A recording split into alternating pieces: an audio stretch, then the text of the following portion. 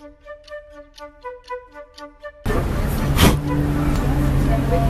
Paris next to the Eiffel Tower. This is my crepes. It's the Eiffel Tower. This is how my day looked like. I went this morning on the train and then after the train I came to Paris where I visited Arc de Triomphe. After the Triomphe I went on my skateboard straight to uh, the Eiffel Tower which isn't that far because I wanted to do the crepes test. It's been one year since I founded my company, lightingvideoeditors.com. And now, it's exactly a year ago, I'm doing the crepes test, just like Timothy Mark did. I challenge you to do the same and post it in the comments below. It'll be very interesting to see how you guys do it as well.